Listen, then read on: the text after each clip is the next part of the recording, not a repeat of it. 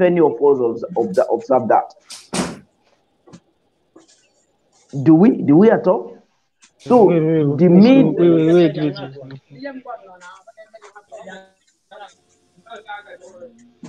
So the, the media is about to be monopolized. And you know the role the media plays in any democracy. So whole lot is on our neck as citizens, as responsible citizens, to just keep rendering our opinion just for us to have a nation of our dream. Thank you.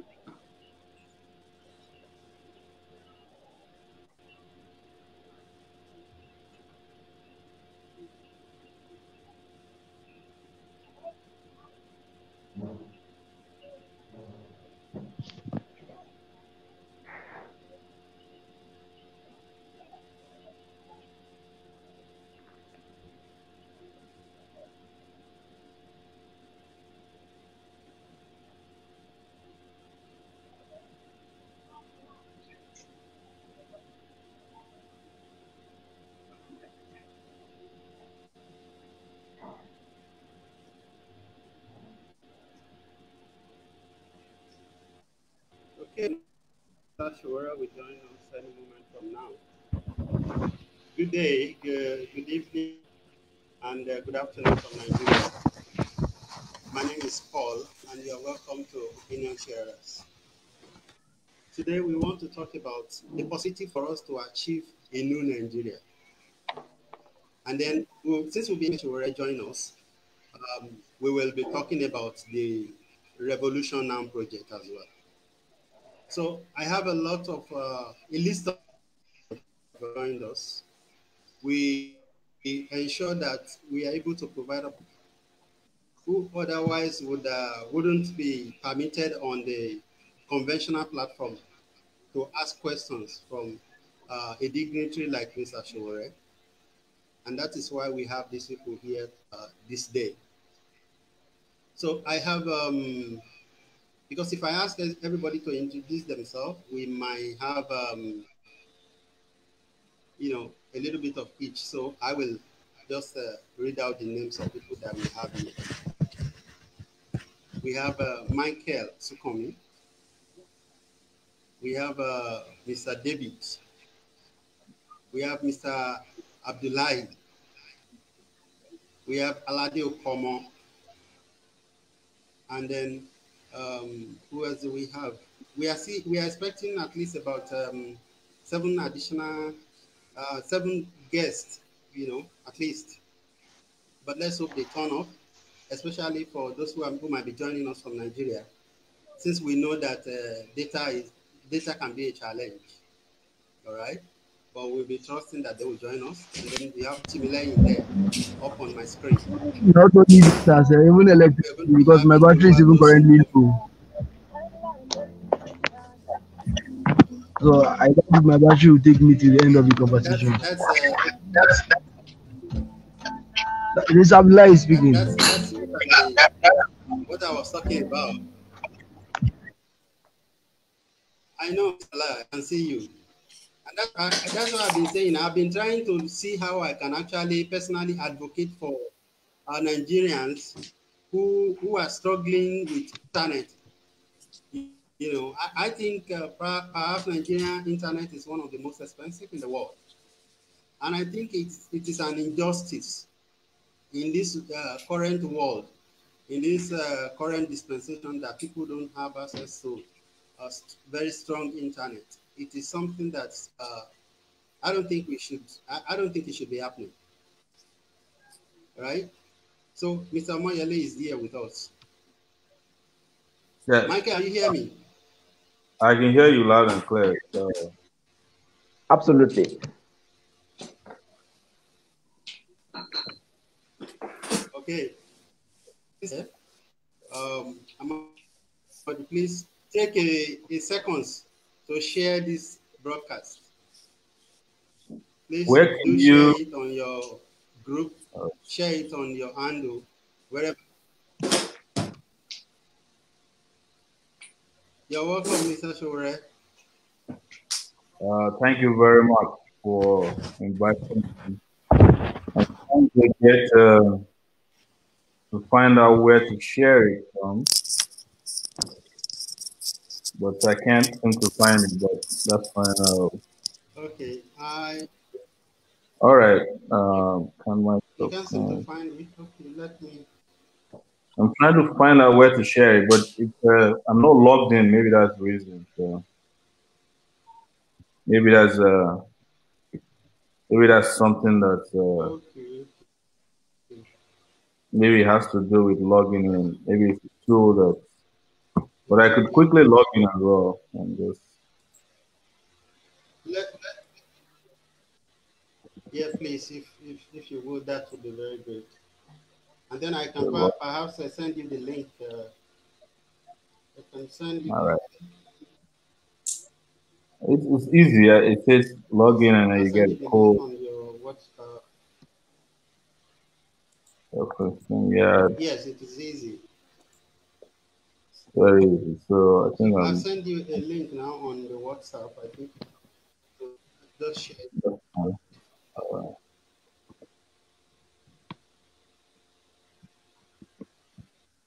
Okay, so now let me copy this. 168, 173.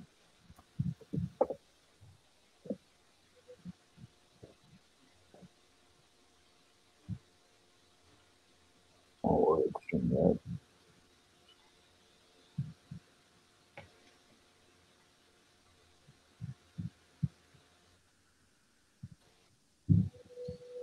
You're welcome once again. Well, thank you everyone, for especially Sowore, I had uh, prepared, I had asked one of our team to read Dr. Sowore's profile so that we don't, uh, there's no need asking for Mr.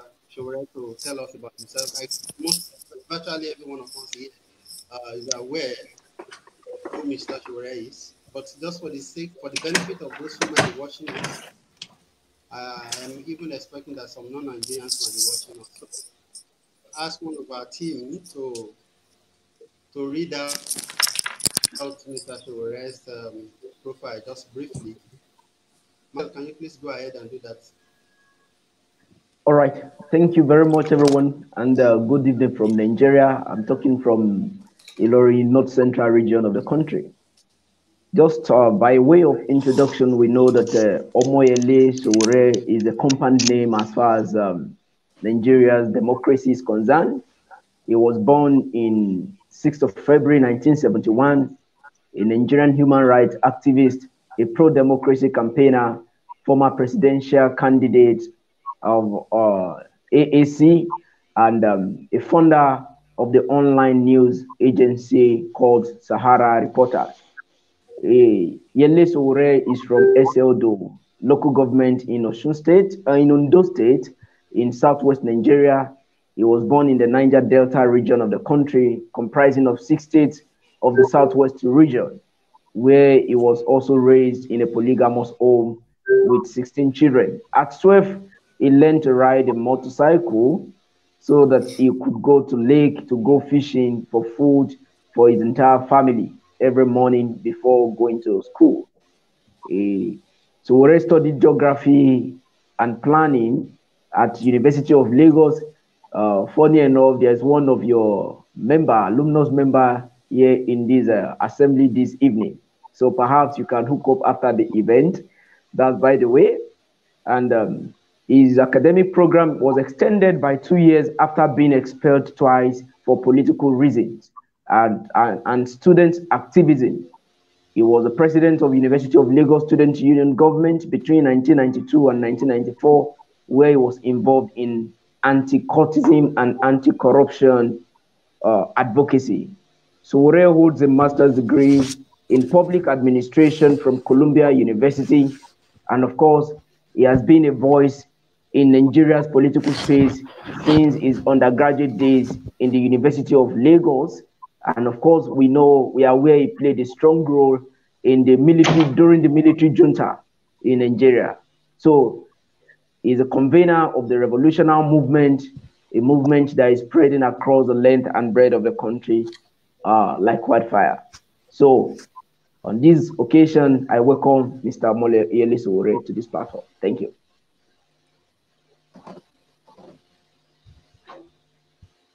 Thank you. So, so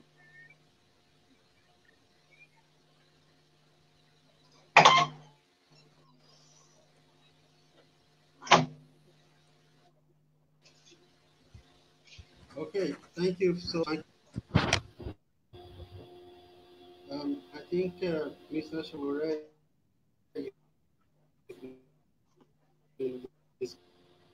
let's hope that he will join us back. That's uh, that's what I was saying about Nigerian network. Okay, the way people are managing Nigeria is even it's even commendable. Honestly, when you look at the fact that uh, uh, somewhere people can people can actually buy data for data about uh, 50, 50 gig 50 gig data for less than five dollars somewhere in the world okay? And then in nigeria i don't know how much it is to buy to buy one gig. How you know in- how nigerian youths would want to survive without internet in this age i personally don't understand it and i think we we have to step for being able to, you know, manage or endure the this kind of Nigeria that we have. Because honestly, I think it's difficult. I think it will be difficult.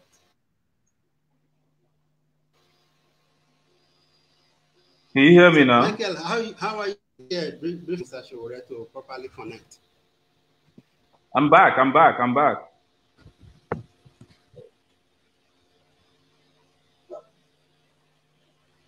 Michael,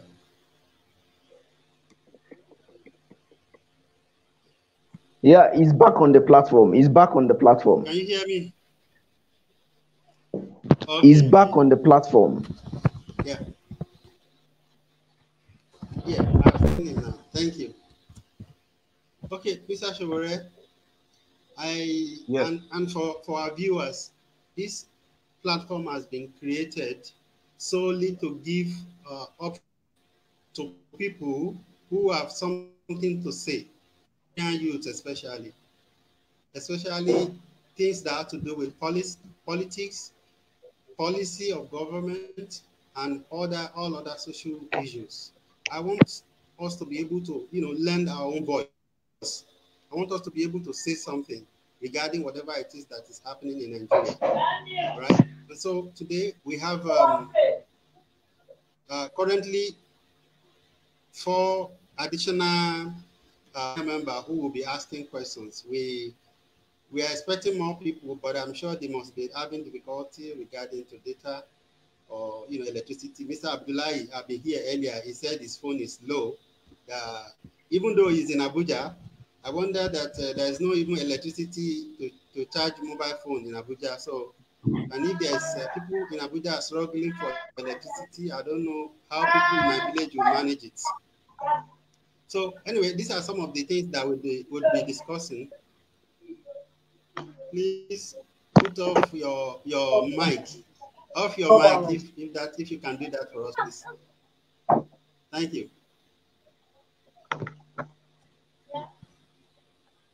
I think that will be you, Mr. Alade. Come on, please off your mic. Okay, I'll go straight to my first question to Mr. Shore. Yes. Um, I am of Nigeria, and I am your fan. I want a better Nigeria. Severally, I have told myself, look, looking at what is happening in Nigeria, I have told myself that uh, I am, you know, I am one of those people that are seceding mentally from Nigeria. But I tell you the truth is that I've not been able to do it. Each time I say, okay, I'm not even going to write anything about Nigeria. I will not say anything about Nigeria. Whether it's good, fine. If you know good, fine. But I've not been able to do it. I've been struggling with it. So I've come to the conclusion that I am perhaps one of those Nigerians who who cannot uh, who cannot pretend, who cannot stand on the fence. And I know that there are so many Nigerians who are who are standing on the fence as we speak, especially the people in the middle class.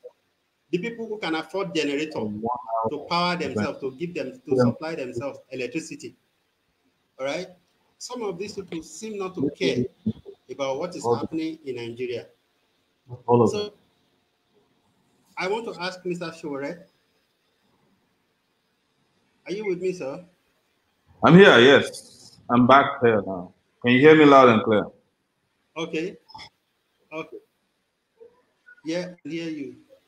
So I, I, am already asking you a question, and I'm saying that the uh, our middle class, the, the middle class men and women who are comfortable relatively, who can afford generator to power to supply themselves uh, electricity in Nigeria, uh, they can afford to, you know, maybe to change their tires as, as often as they need to because the roads are bad.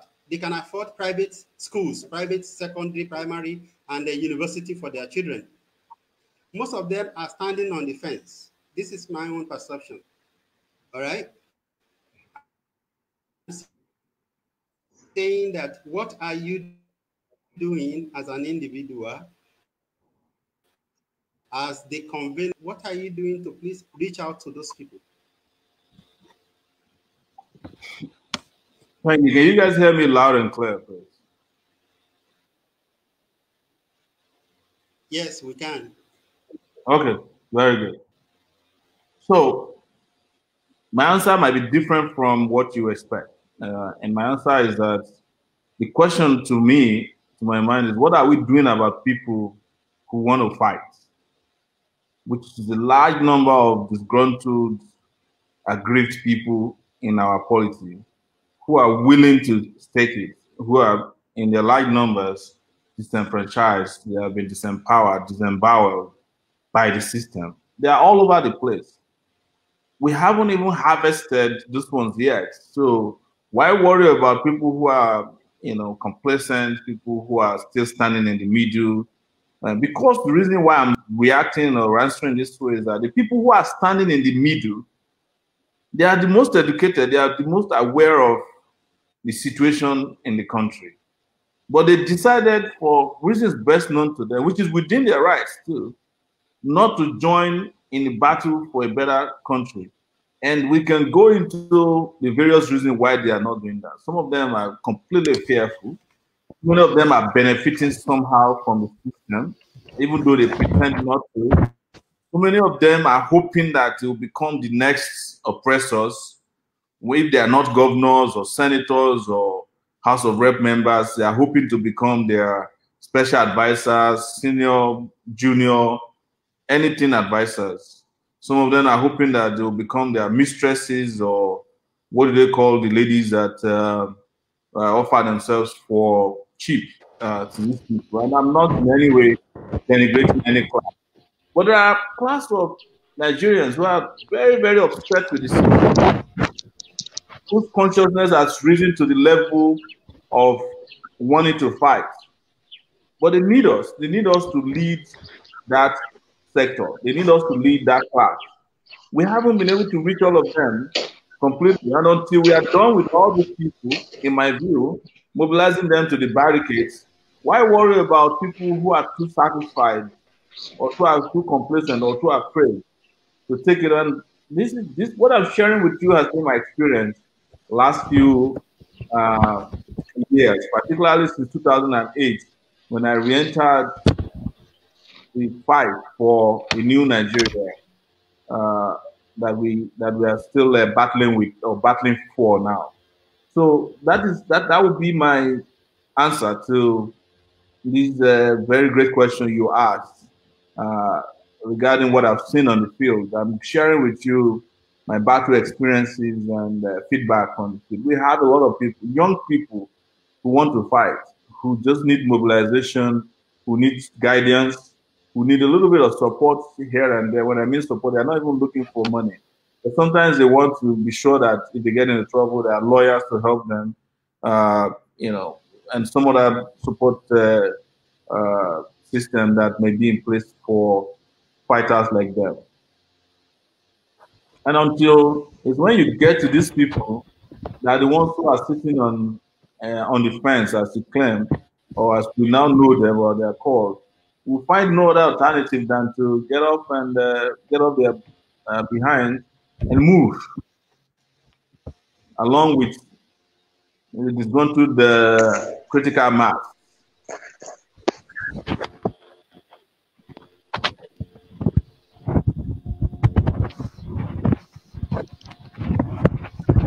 All right, Mr. Thank you very much. Uh, my next question, maybe after my next question, um, I'd like uh, to get ready to ask his question.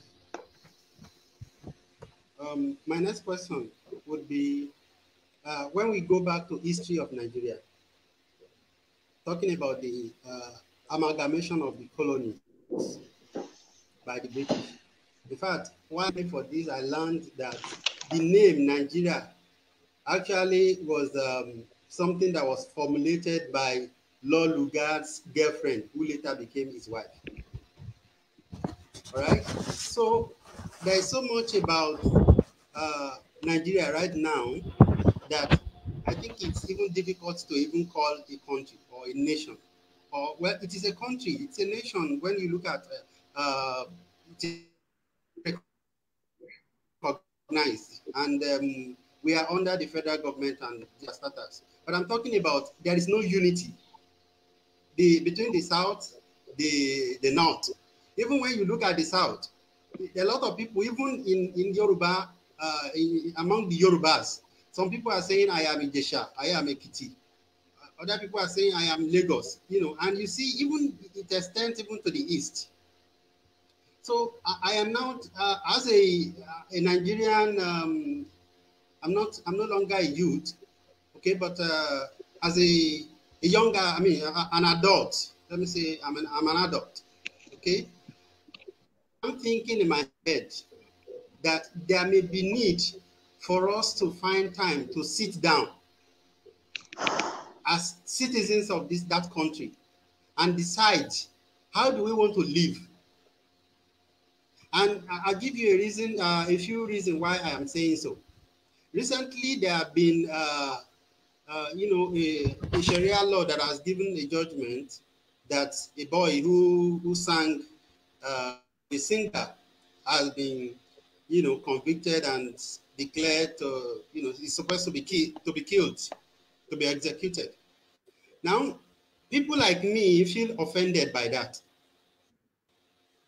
And the reason is that we live in the same country. I mean, we call it our country. So anywhere I go, uh, Paul. Yeah. Let me, let me plead with you to let us compress the questions, you know, so that others can participate as we go along. What I mean is make your questions compact so that you just let's be a little succinct in the questions. Eh, otherwise, it, me too, I will forget the line of questioning because it's a little bit bulky. I just want to plead with you so that we can just make it direct, boom, boom, boom, so that we can answer the questions as they are succinctly asked. So, and I want to cut you short on that one because you just mentioned something that that you know that tickles my fancy about how we look at you. First, there is unity, but when the unity we have is not the unity that is in your own interest. There's unity among the oppressors. When they are sharing money in Nigeria, looting the treasury, there is no Yoruba, there is no Hausa, there is no Christian, there is no animist, no Muslim. Bunch of thieves they don't argue. They enter into the vault, share the money, and everybody walk away with as much loot as they can. It is that this is profitable for them that they create this unity. I understand. They create this. You know, wait. I, let me just finish. Let me. So I don't. I don't want to lose my my time. So just just let me just finish. Okay. But so they create. They create. Yeah, they have I, I, haven't, I, I, even where I am going. I understand. You said something I wanted to respond to. I don't want to lose track of it because you just mentioned also the Muslim guy who is being killed, who wants who is going to be killed for blasphemy in Kano. Yeah. And probably you are justifying that to show how we are not united. But you also have forgotten that a pastor yeah. in Port Harcourt, who is not from Kano, also said he wants to kill somebody for abusing his father, who is Oyedepo. So that's what I'm telling you. Within that class, there's unity. There's unity of stupidity, of bigotry, of greed, but they use other instruments to divide you and I to make you feel like you're Yoruba, you're Hausa. What we need is the unity of the oppressed. But there's unity of the oppressed. They're united. There's no difference between Tinubu and Buhari or Gambari or who is that guy that started Boko Haram in uh, in uh, in Borno State?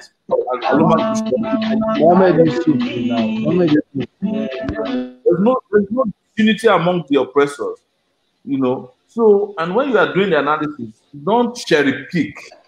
Don't say that there's a blasphemy candidate in uh, Kano, and you forget that Daddy Freeze is also a candidate for blasphemy or extrajudicial killing because Pastor Ibiyeomie has already put him out to be clubbed to death by Christian fanatics. So, just as you have a Christian fanatic in Kano, there's also there are also Christian fanatics in the south, and the Ibiyeomie signifies that, and he just belched it out on the pulpit. So, uh, without understanding this concept of where they are coming from, probably we will be confused about where we are going to. Too, is the reason why you see that I'm not one of the people agitating for dividing Nigeria because I have been around these problems for so long. I know where we are headed. You divide Nigeria, you have just divided the problem. You mentioned the fact that even in Yoruba land, you know, we have our own type of racism. You know, the people in uh, Abeokuta think that Ijebus are inferior to them. Ijebus think that the Kitis are inferior to them. I mean, inferior to them. The Ekitis, they call the people in Eseodo, Araodo. The people in uh, Lagos call the Ekitis Araoke.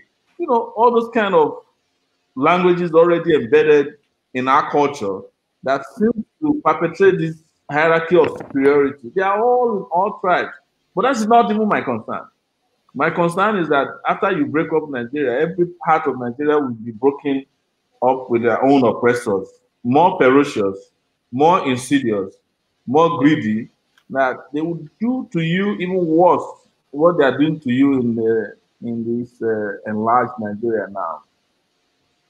So I'm sorry, I didn't intend to cut you short, so please, just to get me right. I just want us not to lose track of your line of questioning because when it when it goes a little bit longer, even me at my age, uh, my memory is not that uh, sharp anymore.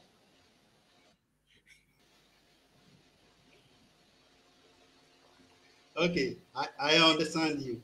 And um, my my destination was actually uh, I was going to ask you when you look at all these all these peculiarities in in these countries, and I don't believe that it's complex because I've lived in India and I know that India is vast, the culture is vast, the people is over one billion people. Okay, so I don't I don't subscribe to the those who think Nigeria is complex and all of those things. But what I'm saying is that there is probably the need for us to sit down and agree on the terms of our being together as a nation. And that's why, because I think it is the lack of it that's making you see Biafra say we want to go. And some people are already gathering and saying we are uh, the Odudua, that we want to go. You understand? So, and, and I'm talking about those of us who the oppressed. I'm not talking about Tinubu and the, the, the big pastors and the big imams who are the same thing. All right, because it works for them. Uh, but I'm talking about those of us whom Nigeria has never worked for. Telling you as I'm now 40, but was because uh, one, one governor, when I was uh, retaking WAEC in 2000, year 2000, paid for my WAEC. That is the only thing I think about uh, maybe 1,200. That is the only thing. Every other thing I have had to, had to pay, I have had to suffer and do it for myself. So I'm talking on behalf of those of us, the oppressed.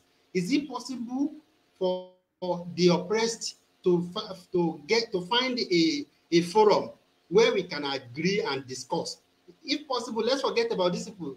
How many year, how many years more do people like uh, Buhari, uh, uh, and uh, even uh, what do you call it, Tinubu? How many how many years more do they have?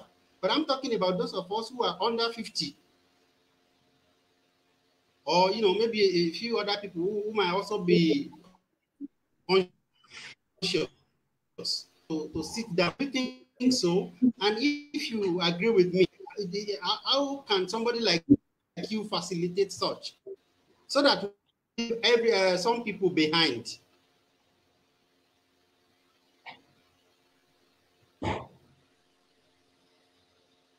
Can you hear me? Hello, did you get my question? Yes, okay, I, I hear you now. Yes, I got your question. We cut off towards. So, exactly when there is no way the system as presently composed can accommodate you in the conversation that needs to happen. There is no way the system as presently composed can sit down with you. The system was not designed to sit down with you. The system is designed to talk over your head and to impose itself and its ideals on you, whether you like it or not, by hook or crook. So, what are you facing now? You are facing, you are faced with a system that does not make any provision for your kind of ideals, your ideas, and your ideologies, your philosophy. So, what do we have left as an option? Is to organize and create our own system that will allow the conversation you are asking for to happen. Is to force to put to birth a new, a brand new system that allows your ideas, my ideas, our ideals, our genuine desires and aspirations to be accommodated. And that is where the idea of revolution came from because you are not going to change the system by waiting to be invited to a meeting. Even if democratically today they decide that they want us to have a conference, whether it's national or regional, you and I can never make it to the conference. Do you know why? Just to remind you or rejig your memory, just the legitimate participation in elections in 2008 and 2019, what did they do? They refused to allow me to participate in debates that I'm entitled to as a candidate who was the most popular third presidential candidate in that election. They did their polls, everything revealed that in some markets I'm number one, in some markets I'm number two, and yet, yet, I was not allowed to participate in a debate, just a debate to espouse my ideas on national TV because they don't want the ideas to reach anybody. And it will surprise you, it wasn't just the government or INEC or NBC that did it. Some of the people that opposed my participation in the debate were young people like you and I, NGOs, CSOs who were represented on that platform. They said, no, Sowore is too, is out of control. If you go and ask him to debate now, he nobody can control what he will say and then came back and said, What if some of them suggested that? What if they asked me to send an agreement not to say certain things on national TV? Will I agree?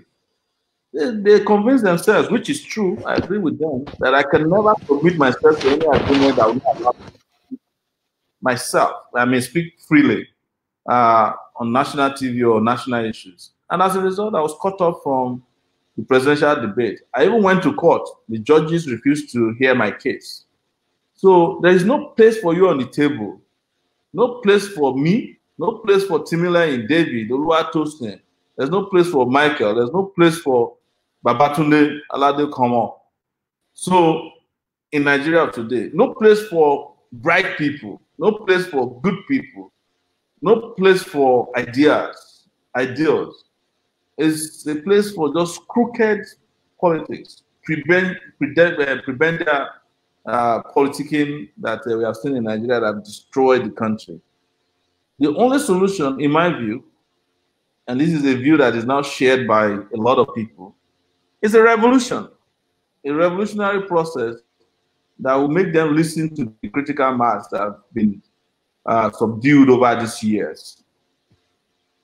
So that's uh, that's what I think about that question and my answer to it.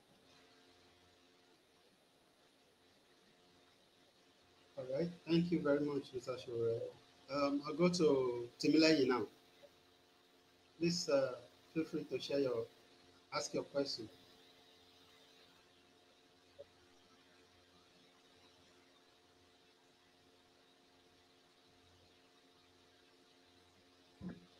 Thank you for having me. And um, my question goes thus: uh, in the last um, election in 2019, I was I think I acted as a presiding officer in uh, in a local government in the Ijebu, and then I had a lot of people hear their opinion about all the candidates, and then most especially Sowore. And many of them were like, if this guy could have maybe considered going for maybe a legislative position, it could have made more sense to them and maybe you could have put uh, polls and all that. And having this opportunity before me to ask him a direct question, I would not be asking him such question right now. And rather, I will be asking a question that would um, that will make us understand how it processes information and how and how he would handle such a situation. First, I will ask, had he ever considered such um, opinion, like let me go for a legislative position, perhaps where perhaps a senatorial or or a House of Assembly position. That's first. And secondly, had it been he, he did that, does it think, and Mr. Sowore, do you think that you would have made any significant impact in the Nigerian political space today? I'm asking this question most especially because of people that want to come out maybe under the umbrella of your party or or they want to come out as mentees to you. Do you think such people would make any impact if they do not have the federal might, they do not have the power that be above, and they are just like the only wheat amongst the thorn? So do you think there could be a vivid or significant impact that they will make? Thank you. Um, I asked you a question before I answer the question. Did you consider the election free and fair as a presiding officer where you presided over the election? Did you see a free and fair election? Of course, we know that elections no, in Nigeria no, no, there has not been any that is question. free. That's and... not my question. I'm not asking you to indict yourself. it definitely but, was not. It wasn't. That's then I'll answer your question. So, you see, it is part of what they do to us. That's what I started this conversation with. People that have been pummeled over 60 years by the system we are all fighting against today that we want to uh, unleash our anger on and depose. The first thing they do to you is your self-esteem. And when they destroy your self-esteem, even a PhD holder will be told that why didn't he start as a Dangote driver first if he wants to make it in life? That is what the system does to you. It reduces you to nobody. People who are asking that, they're asking a guy like me or you who had a first degree, second degree, traveled all over the world for 20 years, set up a business that is thriving, even though things are hard, you know, an entrepreneur. I can call myself one because I set up a business 14 years ago that became slightly successful. Uh, they, they're asking you that I should be a, legis- a legislator under a president who, who cannot produce his first degree, who cannot explain what he wants to do to the people, who cannot attend a presidential debate, right? Who doesn't know his left from his right. That is what the system does to the mentality of the oppressed. They reduce them to nothing. And the first person to tell you not to aspire to be great because their entire life they have been handed inferiority, inferiority. They have now started to live under a complex known as inferiority complex. They have been defeated as a person or people from inside and outside. And their self-esteem has been replaced with something different. And they are the first to tell you that why didn't Mr. Go to the legislative house? Now we go to the legislative house. If I go there, what do you think will happen? You know yourself already that I will be probably the only voice there who will be saying. And my colleagues will gang up and remove me from the legislative house and they will ask you to go to court. And by the time the courts are done with the case, your tenure is over. I can tell you how many people I have reported on as a reporter who were dealt the same blow for being different, including the idiot Dino Melaye when he first went to the House of Reps. His house was his clothes were torn into pieces. He was beaten and roughened up with uh, another lady and both of them in those days. Under uh, Saraki's eighth assembly, uh, eighth senate, there was one uh, Boko Haram senator that was removed from a house because he opposed them openly. He was one who was who raised the issue about Dino certificate. He was expelled from the Senate by Saraki and the rest. Under the last uh, assembly, well, there's one guy from Kano, I don't remember his name now, who was opposing them. They removed him. In broad daylight, they didn't give him fair hearing. But I'm not defending. The reason I didn't ask to go to the house is not because I, I'm afraid of being removed. It's because I never aspired to be a lawmaker. I've always that if I'm going to aspire to a position in this country, it will be to preside over the country so that my ideas, as bright and as powerful and as punchy as they are, can see light, not to be covered up with bullshit in one radical end of uh, a building in a National Assembly. I've never aspired to be a lawmaker. Never. And I've never regretted and never in any way thought that the best place for me to do to go is the National Assembly or the local government. If anybody feels that that is all they aspire for, we are 200 million people in Nigeria. Let them go to where they aspire to go to. Maybe some people are aspiring to be class captain. That's not their problem. You have to respect the limits of their aspirations. That is the bandwidth of their about leadership. Maybe some of them fairly and in all honesty, don't feel like they can perform anywhere else better and above the people they see in the House of the National Assembly or State House of Assembly or chairman of the local government. That is their right. What I'm trying to tell you is that the fact that somebody wants to become natural progression to the position of president is not local government chairman followed by House of uh, Rep followed by chairman of the local government, followed by governor, followed by senator. If that was the case, Donald Trump could not have become the president of the US because he was never a local government chairman. He was never a senator, never a member of Congress. He, in fact, we don't know that he had any political office before he contested for presidency. The same thing with Obama. Obama was just a senator for, he was a state house of assembly member in Chicago, I mean, uh, in Illinois and then suddenly, I mean, after that, he was for a few uh, months, I would say, was a senator before he became president. So if you if you look at uh, the job description for president of any country, there's nowhere there where it said you must have this year number of experiences, or that you must have been senator or local government chairman or class captain or SUG president. None. So, but that's my aspiration, and I've always maintained this. But most importantly, we keep insulting ourselves with this question. When you tell a guy who is 50 years old, I'm going to be 50 next year, that I need to go and become local government chairman first to govern Nigeria that has 200 million. When Obama and Bill Clinton, even uh, Kennedy, J. Kennedy, became president of the US with 350 million people, an economy that is in trillions, when they were below the age of uh, 45, 46, 47. So what, why are we doing this to ourselves? Why are we insulting ourselves with this repetition of inferiority, inferiority complex?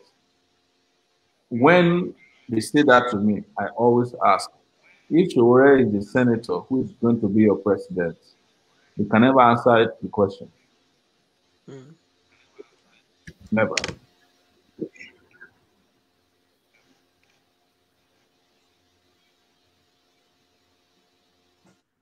Okay, thank you, Mr. Sowore. Thank you very much. I, I love uh, that. Uh, Timla, you want to say something else? Oh yeah. So like I like I said in the question, like it is not a direct question to him. So I was trying to ask this question um, about especially people that rose up um, under AAC in 2019. And I know that many of them, especially a friend of mine in Poland, he, I think he, um, uh, he ran in the Ijebu local government. I, I've forgotten exactly where in Ijebu local government, in the Ijebu.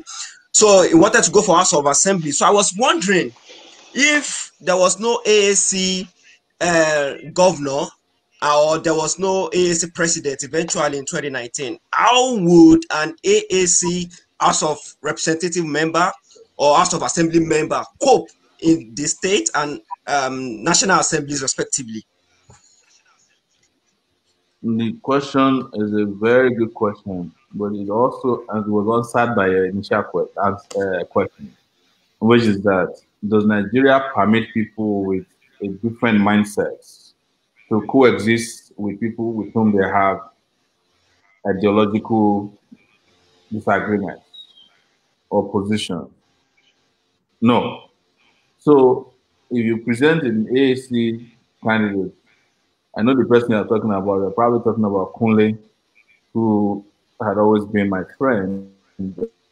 Uh, in those days before he left for Poland. You see, it would have been a fantastic idea to have an AAC uh, State House of Assembly or member of the House of Rep be able to espouse their own ideas on those platforms. But because we no longer practice democracy in the real sense of democracy, nobody stands a chance. In fact, nobody stands a chance winning an election where you presided uh, over the election because the major parties have already put thugs there. The police is conniving. Everybody is working together in against the interests of democracy, free and fair election. So if our president had won, we would have stood by him. But the question, like I said, is would he have survived one day over there with the kind of political intolerance that we have, the domination of uh, politics that we have, and the fact that if a guy is not careful, he will be bought over if he's not sound and committed and focused. He will be bought over within a short time. There have been cases where these little small parties win elections, and then they go to the State House of Reps uh, or State House of Assembly in particular. Within two weeks, they have been bought over. They renounce their party. They join one of the major political parties. But that was not going to be the case of AAC, particularly referring to this your friend and who is, well, he's a mutual friend of ours because I know him very well. He wouldn't have done that. But the question is, he couldn't have won the election that you presided over, even if he was the best candidate. He stood no chance of winning that election because it had been rigged against him from inception. Even as the presiding officer, if you were going to put stubborn in Ijebu where you were, you would have disappeared or never to be heard from again. Because that's the kind of politics that these guys have uh, brought upon our nation, Nigeria.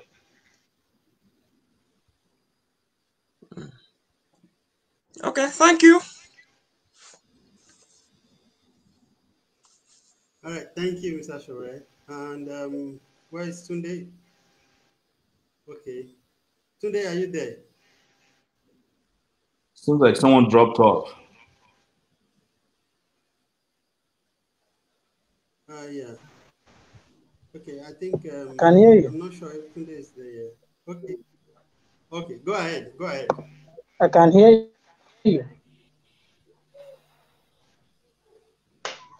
All right. I hope everyone can hear me.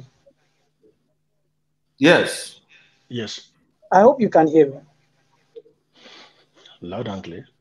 I can hear you loud and clear. Uh, Mr. Sowore, I will. Let me first start by, yeah, let me first start by saying that uh, I'm deeply impressed that you are making such a great stride to cause a kind of a change from the narrative of Nigeria. And secondly, let me say that I'm also deeply humbled to share the same alma mater with you, which is the University of Lagos. Um, having said that, if we look at the status quo uh, of things in Nigeria, we'll discover that it will be a little bit, or let's say a little bit, it will be very difficult for anybody to, uh, any good man, let me put it that way, any good man to have win any uh, elective position and be able to push things around within the system. Why do I say this? Is that when you look at the National Assembly, let's say we have two Senate people in the National Assembly out of about 360 House of members and 109 senators. It, it will not work. So now I haven't understand that the present system that we are running in Nigeria is not sustainable. It will not work for the future of this country. And the revolution now thing, ever since I've heard of that revolution now, the main question in my mind, and I want to pose to you now, is that what is the main content, what is the specifics of this revolution? Since the one we have at hand cannot work, and if anybody decides to vie for an elective position, there's every possibility that the instrumentality, uh, instrumentalism of government and other apparatus within the, the state pass will not allow such individuals to win as against whatever they may be preaching. So I want to know, and I want us, I want you to tell Nigerians what is the content of that revolution that we can benefit from on the long run. Uh, before we start thinking about the benefits, let's think about the sacrifice that needs to be made for for this to happen. The revolution is uh, for me, and as I want people to understand it, is to press the reset button for the operating system of Nigeria. The operating system, as it is now, has run out of memory, uh, RAM space, and uh, it's no longer working for anybody. I'm using the computer device uh, analogy to describe this to you, and we need to press a reset so that we can install new applications on the democratic system that meets the tenets uh, of uh, real democracy in every sense and ramification of it. And uh, a, a, revolution will do that job. And revolution is uh, an internal or external revolt uh, that says to people, enough is enough, and we are no longer satisfied and able to cope with the current system that is stifling uh, and suffocating, asphyxiating our people, asphyxiating our aspirations and uh, our democracy. See, yesterday, I've had to answer this question severally. And the first thing I say to people when they ask, What is a revolution? is that I say to them, You know the meaning of a revolution. Just tell me that you are worried about engaging in a revolution. There's nobody who doesn't know the meaning of a revolution. Because if you don't know it, you knew what they did in in Mali recently, people came out in their millions. And their president had two more years to go. But he said to them, it's like a contract. We had a contract with you for four years to provide us water, you know, food, take care of our foreign policy, national security, and you are not able to do it. We want to terminate the contract. We are tired. We don't want to continue with you anymore. You are the captain of the ship the ship is not moving anywhere. We want to change the captain, or we want to change the ship itself. We want to. We are tired of passing the ship, always leaking, and it's about to sink. We want to move on to other ship, or we want to dock this ship, repair it completely, overhaul it before we start sailing again. That's what the revolution is about. Most of you know the meaning. It's very easy. Google helps you.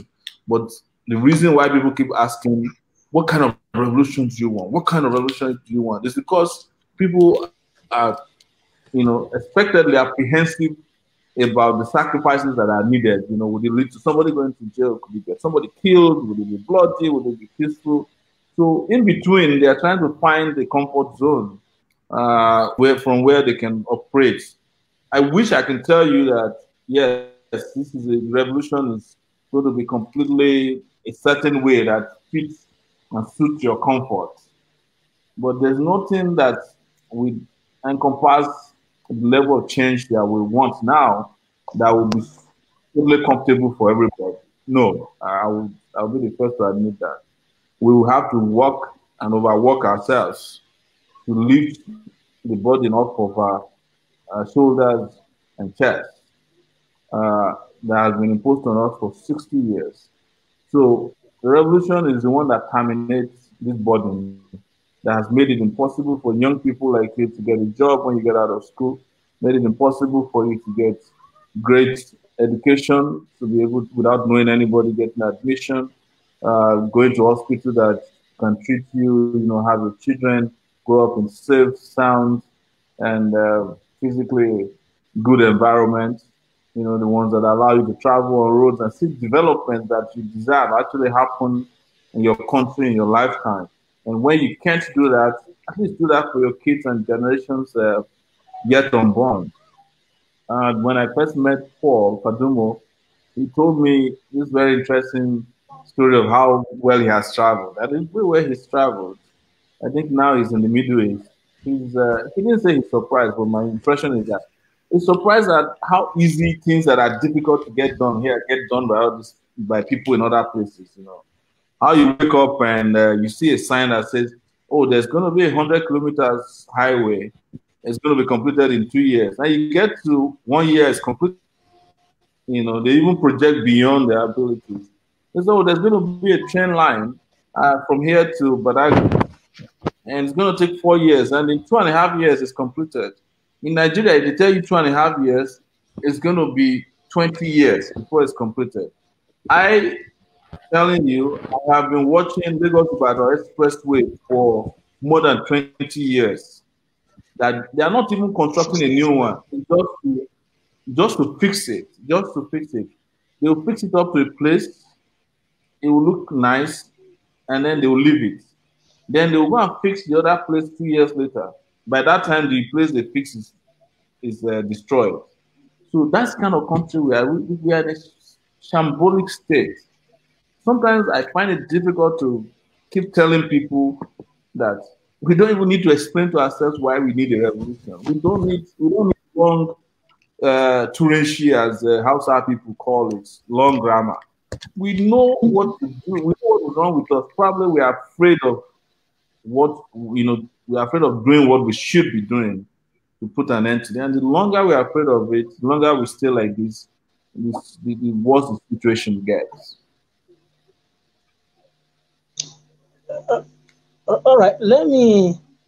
I I appreciate that uh, response because you you said that we have we first talk about the the sacrifice we all have to make, and I that is what I keep telling people on daily basis that if we want a change in new Nigeria, then there's a sacrifice for all of us to be made. Let, let me quickly ask just one more question so that other uh, panelists can as well be able to ask you question. Uh, the 2013 or 2012 confab, the national conference under President uh, Goodluck Jonathan.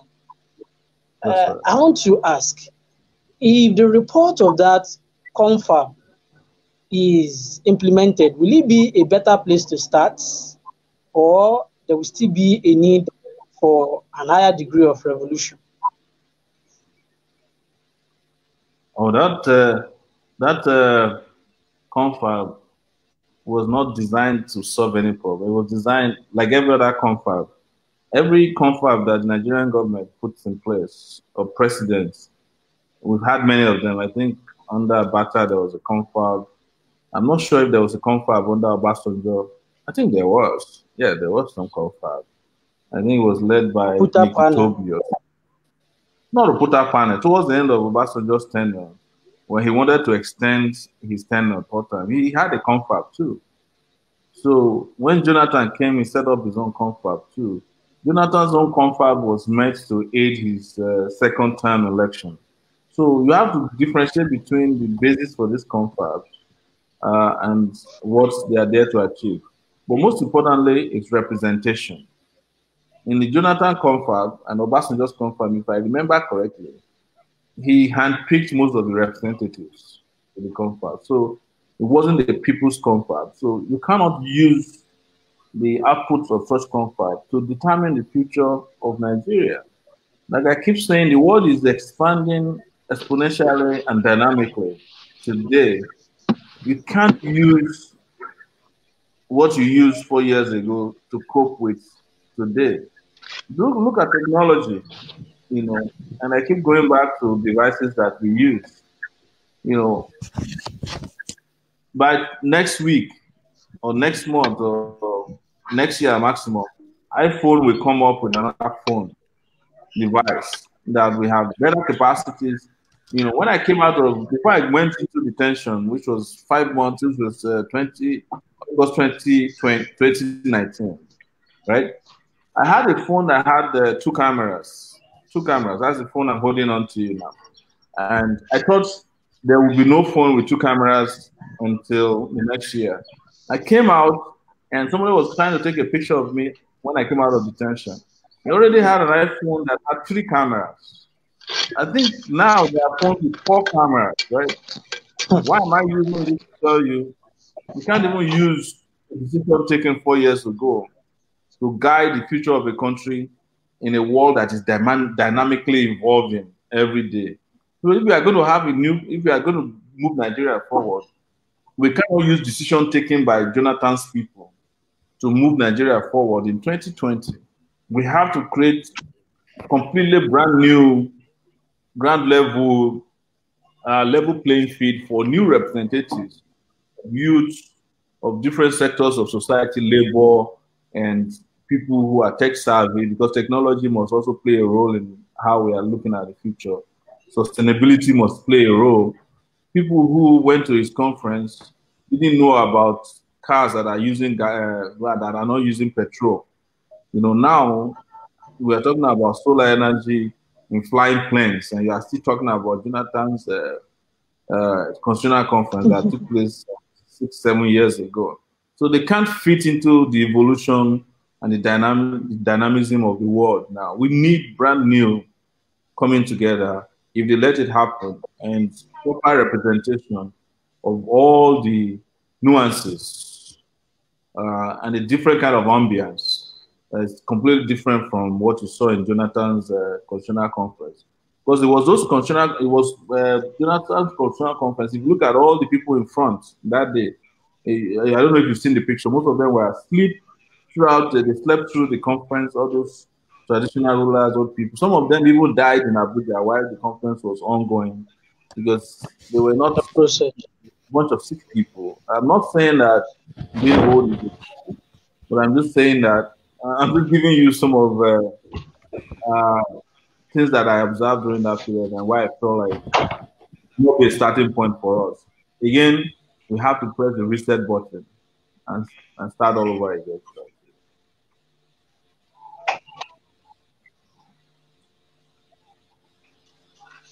Mr. Moyele, thank you so much.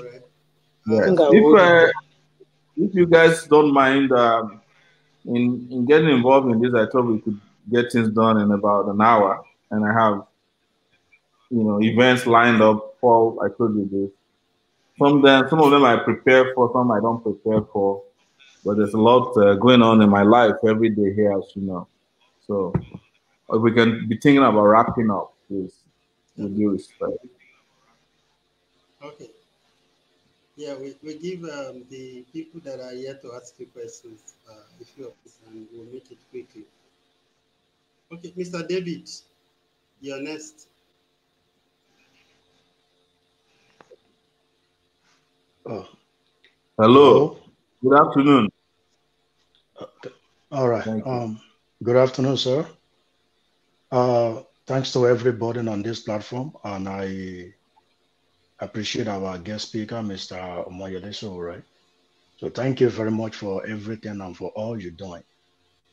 And I have um, a questions. Uh, what can we do for all about those that is in the corridor of power? These people, they are not elected, but because of what they are gaining from these politicians, so they lobby themselves into the corridor of power and it's difficult for an ordinary citizen to outsmart them or to do something reasonable in the sight of the nation because of these people. So, what can we do to get rid of them so that ordinary man can speak? because these are the people that defend this politician we're talking about. Even these politicians, they are not on Facebook. Some of them they are not on Twitter, oh, but they are they are people. They are right there defending them. So what can we do to get rid of them? They are in the state, they are in the local government, they are everywhere. So secondly, um, this revolution is a thing that I really, I'm, I'm really into it. But um, what can we do to gather another set of agitation like this Oduduwa Biafran, for instance, Oduduwa Biafran revolution now, and this October 4th that is coming ahead of us, what can we do to make sure that people don't see only Omoyele Sowore? That is not what it's meant for, but that is how some people are saying, oh, that is Sowore things. No matter how we explain to them, they don't want to understand. So what can we do and who are we talking to so that we can gather the momentum we need and to preach this message to people so that they will not see it as South versus North or uh, the Igbo, Yoruba, they're against the North. So what are we doing every day to, to make this clear to people? So um, I don't know if you can talk on that. No, uh, thank, thank you. you. very much. Uh, one of the things that uh, has to happen is constant political education constant conscientization, and it happens through mobilization. And mobilization is not something that is, you know, perpetual. You have to test your soldiers from time to time. When I use the word soldiers, I'm using them advisedly. All these mm-hmm. uh, agitators from time to time in protest. For instance, I give you an example. When we started revolution now in 2019, before we could even start, I had been arrested. Mm-hmm. So what made a difference was that I was arrested, but it still went ahead, but it was limited. In 2020, August 5, one year after, I was still wearing my trousers, right? When I heard that 15 cities had risen and started fighting the government, it became headline the next. Even the press did not expect it. And if you look at even currently what we are doing, we did an online protest the other day on Zoom. It's never happened before in Nigeria that people protested. But it was our own digital response to mobilizing people who could not physically participate. And at the point, it was close to uh, 500 people in attendance. When it was uploaded to Facebook on Sahara Reporters, a day after, it had reached 458,000 people. Exactly. Tells you that level of people are still watching them to tomorrow, even on YouTube and our Facebook page on Sahara Reporters. So we have to keep mobilizing people. The number of people that believed in revolution in 2019 have increased geometrically in 2020. Because in 2019, their response was to go to Google to find out the meaning of revolution. In one day, over 5 million people searched the word revolution on Google. You can go and mm-hmm. find out. You're right. Because of what happened in 2019. In 2020, they are no longer searching, they are trying to participate. So, online that day, people were asking us, Where can I join? Where can I join? And if you were on, we were, because we are trending on August 5, a lot of people were disappointed. So, why didn't you have the Port uh, revolution so I could join. And Kano and Kaduna, places that we didn't, we couldn't get to in terms of organizations that have enough people, were willing to join. Now we have all those cities and states and towns and villages in the basket because why? We did not stop mobilizing, you know, instead of agonizing. So you have to keep educating people. You have to keep talking to them. And that's why sometimes, even though I have my concerns about religion, I learn something from them, you know, particularly the people they call Jehovah Witness. If they come to your house this Saturday, you drive them away. you will not stop them mm-hmm. next week. Without they are awake You know, if you ask them, why, what are you still looking for? The moment you open the door small, they'll put a leg in it and start speaking to you. By the time they come the third time, you will let them in now, and then you become friends with them because of persistence. We have to sustain the tempo. We have to be persistent with explaining to people because you see, a lot of people want to see Nigeria change, but not many people want to leave their comfort zones or make the sacrifice. Because what we know is that anytime you go out to protest, police will shoot at you. And honestly, nobody would, like to die. Nigeria is bad enough. People are just hoping they can survive and survive, and one day they can get out. Or mentally succeed, as uh, I usually use and Paul repeated today from the place so that you can have your own cocoon where you live and nothing touches you. So that's that's that's the way it is. We have to keep working. But I think that if uh, August first becomes really successful, the mobilization you are doing will become also equally successful. Because then you discover that on August 2nd, people will ask you to continue and that's how we started in Mali. It's how we started in Sudan. In fact, it started in Sudan with some female doctors. They were gathering in corners in Sudan and saying they want revolution. They make fun of them. They were making fun of them. Some of the people will see them, they will drive past them and say, Go and marry. It's because you don't have mm-hmm. husband. That's why you have time to be protesting.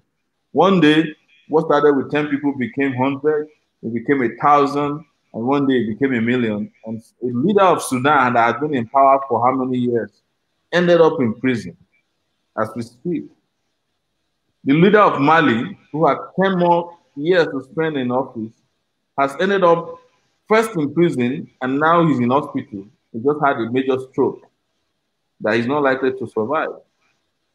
But had the people not pushed, had people just kept using excuses to buy time, it would not have happened. So you have to make the push, you have to make the sacrifices. And it's the reason I brought my, when I came out of detention, I came out and said to people, look, it left to them alone. I'm telling you this. They were hoping that I'll run away. I'll just arrange with somebody to take me to Cotonou and I'll find a way out. Maybe I'll be hanging in Ghana and find my way to America to my family. So that when other young people come out in the future, they say, look at you now. So we don't run away now. Instead, we go run after some time. Maybe just a look at. I told them I'm not going to run away. This is my country. It's the reason I didn't change my citizenship. I'm a Nigerian. 20 years in America, I never went to where they're applying for citizenship because it's not if I love Nigeria more than other people. It's just that I cannot withstand what these people are doing to this country. And I don't feel like it's the right thing for everybody to run away from Nigeria for them. And I've had a share of my I've had a share of my running away. You know, I spent 20 years in America, you know, mostly in and around New York City, the biggest city, one of the biggest cities in the world.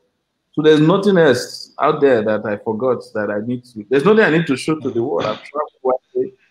I've had kids. I've been married. You know, I've done what 10% of our brain can do very well. I've gone to school. I've you know acquired two degrees. What else?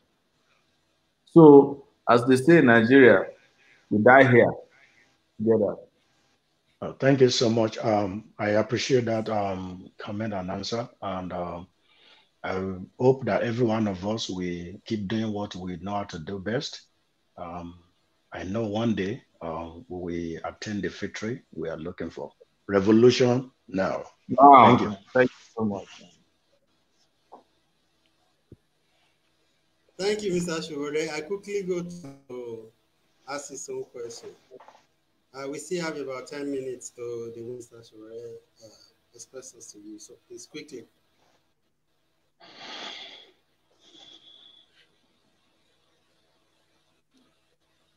I continue with my question.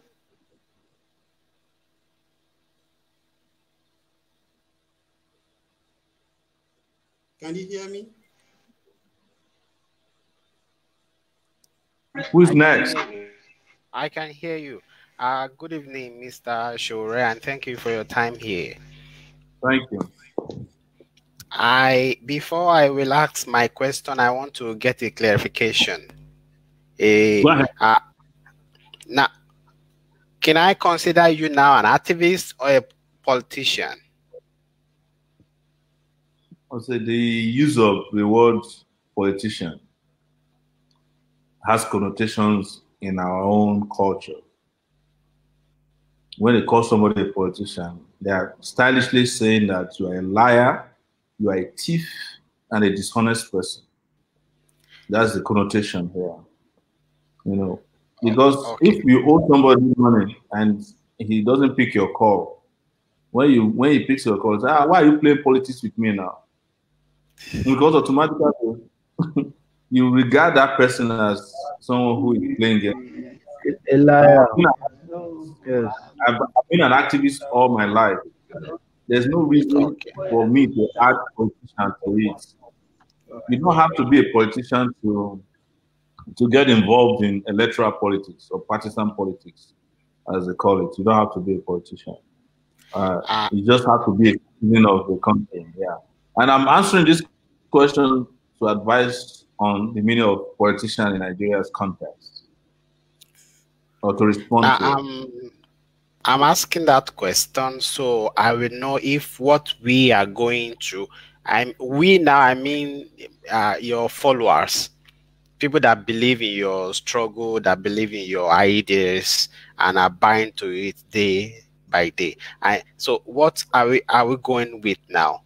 Are we going with revolution now, or we are looking at still running for office? We are running for freedom because you cannot run for office without. It's just like asking that you want to drive over a lake and you have no bridge built over it. You are going to end up at the bottom of that lake, no matter how great you are as a driver, except you are driving an amphibious car, and there are not so many of them that I know about. What is the bridge that will lead us to running for election and winning election? a disruption of the current, you know, corrupt, incompetent, dishonest, and wicked political process that keeps good people away from becoming leaders that they deserve to be. And what is deserving of the leader is for you, instead of walking around with wads of cash, to have you be able to espouse your ideas and win election and help your people. But people who win elections in Nigeria are people who only have wads of cash but without ideas. I think there's a Kenyan professor who said it. His name is uh, PLO Lumumba, who said uh, people with ideas don't win election and people without yes. I, I, there's a way he put it. I don't remember uh, precisely the way he said it now.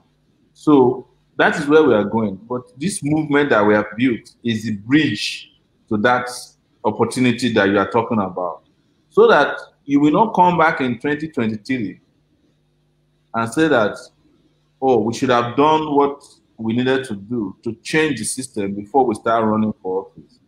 Like every other person, I could go and hide too. And when it's two weeks to election in 2023, go and print posters and start disturbing you again.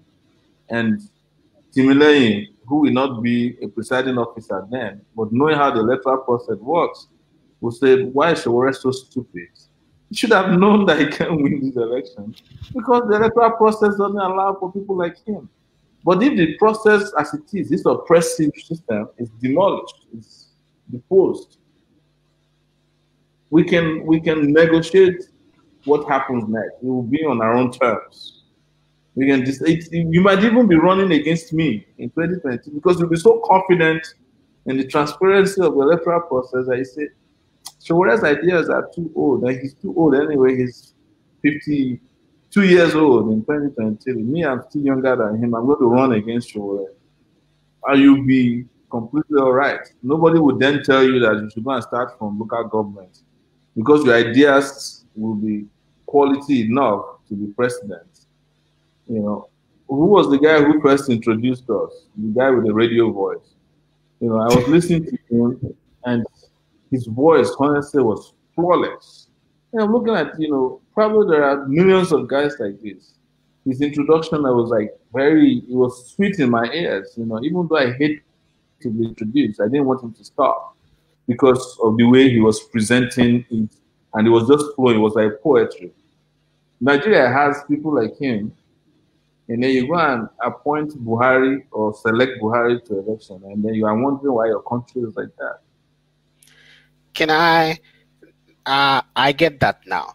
Now, uh, in form of advice now, or to contribute to that, can I advise that you make your presence to be uh, to be known not only on uh, social media, but right now you are in Abuja. You can make good use of that by appearing. Uh, I know you are not a religious person that much, but uh, if we want to get some people, if because for revolution and for election, is we need numbers, and these numbers are in the market. They are in churches. They are in mosque. They are in uh, in gatherings. So I want to employ now that you are in Abuja, you're on grant, you should make your present to be more known and offline. I uh, I completely agree with you, and we've been doing that. Last uh, two weeks, I I had um, I went to a group of pastors to talk about politics, and the argument that is natural quickly degenerated into religion, and they were asking me my religious purpose in life. And uh, by the time I finished the Christian, uh, defending myself, they told me that I was better than so many of their pastors. So I I can easily uh, compete with any pastor on the pulpit. I trust trust me on that one. Uh, but I agree with you. We should do more. But don't forget that I'm also under a bunch of legal restrictions, even in Abuja, uh, that we don't need to repeat here or rehash here. But I agree with you. And uh, but we've been reaching out a lot, and we hope all of you are doing the same wherever you might find yourself. Let's just all be who we can be. You don't have to be another Sowore, but you can be yourself. You can just build upon the little I'm able to do, and uh, we can do better. There's no time that people make these suggestions that I am opposed to them.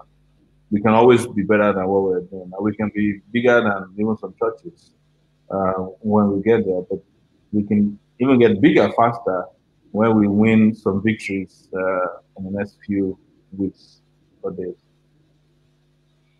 Thank you. Yes.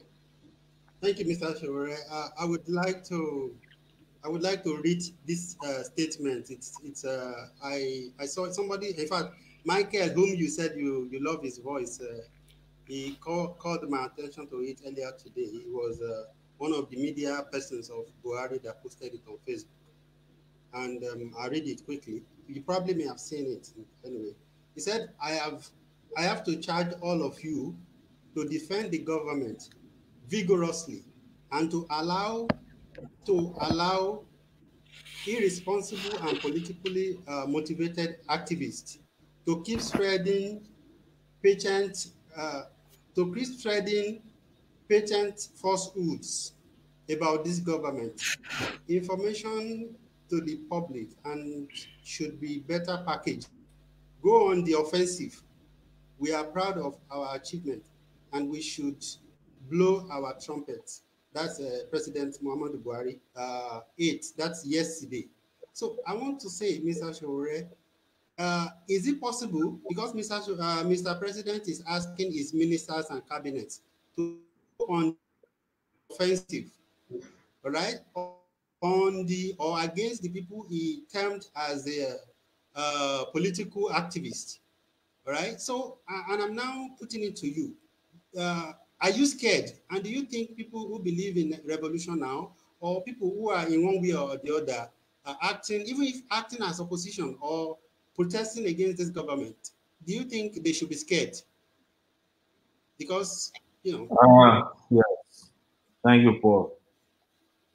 How many of you know Sunny Ade very well? Most of you guys, right? There was a song uh, he sang, uh, I don't know which year, he said, Èmi náà bá wíyàn wò Ọlọ́run mi, ṣó máa wò wọ́n. Of course, they are talking about me in saying this. So, but let me let's just dissect it this way. The fact that after a year and a half, after about six years in office, they still can't figure out the achievement to the point that they have to be advising themselves inside the chambers of uh, Aso uh, the council chambers, to go aggressive on people. Tells you their level of confusion. They are confused. These guys are completely confused. They are overwhelmed. They're just putting up what they call boat face. You know, it's just like try to make it sound like, you know, they are in charge. Um, you know, anybody who used to be an activist or who is mistakenly thought to be an activist, a person of conscience, who loses direction to the point that people like Keyamo are now, the way I address them is to address them as Festus Keyamo of blessed memory. You know, they have transited into another world. And that would be my answer. There's nothing to it. Let's just keep doing what we're doing. This is to show to you that what we are doing is effective.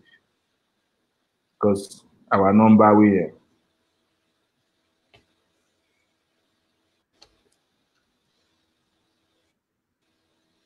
All right. Thank you so much, Mr. Shore. I'm very, very grateful. Uh, I have a, a, list of questions here that I probably would love to. You know, I have to run. I have people uh, waiting for me for my next meeting. It's been, it's been an hour and uh, a half, more than that. Right. I have to run any moment from now, please. I, I you know, we can do this again as frequently as we want. Yeah. You know, you and I are close, and you have made me more friends now, and I appreciate all of you. Thank you so much, Mr. Sowore. Thank All you. Right. Keep, keep doing what you do. Thank you so much, guys. I appreciate All the right, comments today. Thank you so much. Great questions, and uh, hope to see you again. Aluta continua Victoria Sata. Victoria Sata. Yes. No.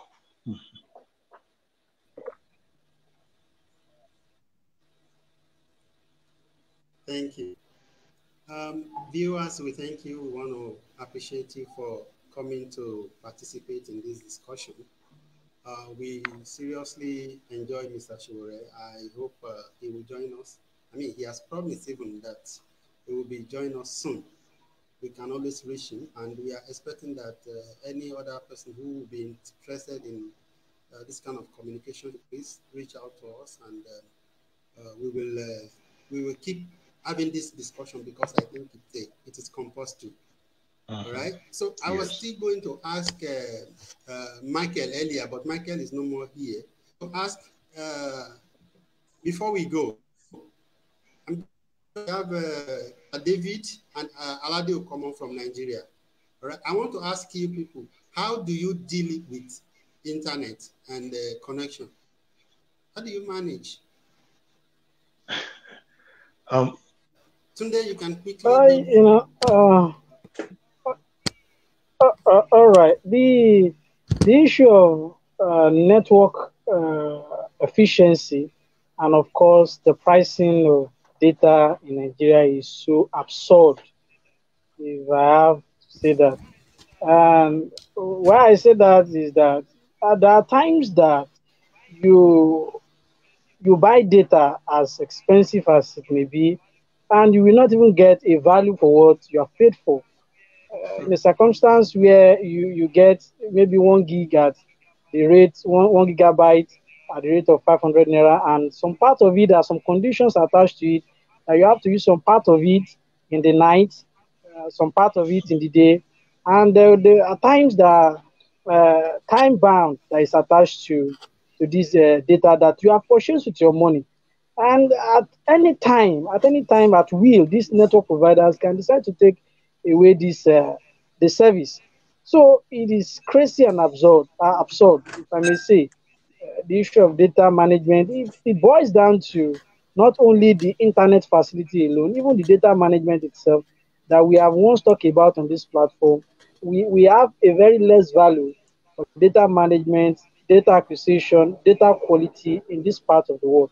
And it's just a, a shame on about over 200 million Nigerians.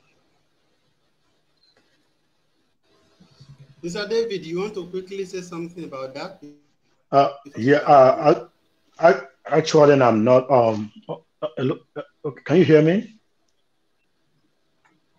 Can you hear me? Yes. Yes. Okay. Um. Thank you so much for that question. Yeah. I, actually, uh, I'm not calling from Nigeria, so I'm in Florida right now, but um, but basically, with what is happening in Nigeria, everybody is aware of it. So you don't get value for what you pay for. As I'm talking to you right now, I'm expecting another provider to switch my internet. It's not that the one I'm having is not good, it's serving me. Everything is okay. I connect all my TV and all the room, all the gadgets. But I can switch anytime I like if anything I find is not comfortable, maybe price or anything. So here, data is not an issue. So you get what you paid for. Even at times, if you convert it, we pay less here compared to those that paying in Nigeria. For instance, here you can pay maybe $45 or $50 for a month and you use it as much as you want. You stream live, you do everything. Even on the go on the street, you still connect with your Wi-Fi. But it's not the same thing in Nigeria. I remember when I traveled to Nigeria 2014. So I subscribe normally. I don't know that when you are not using it, you turn it off. I left my phone on. Mm. So after my data finished, they switch to my to my normal normal charging. They started every of my cash in the phone, mm. my I mean my calling credit. Everything within one hour, more than five thousand or seven thousand was disappeared. I don't know. So I think it's something we have to deal with in that country. Uh, we have to work on that. Um, I think so that people can have access to much data and watch this program. Because many people now, as we're watching, how many people can use their data normally, if not for occasionally, to watch program of one hour, one hour, 30 minutes.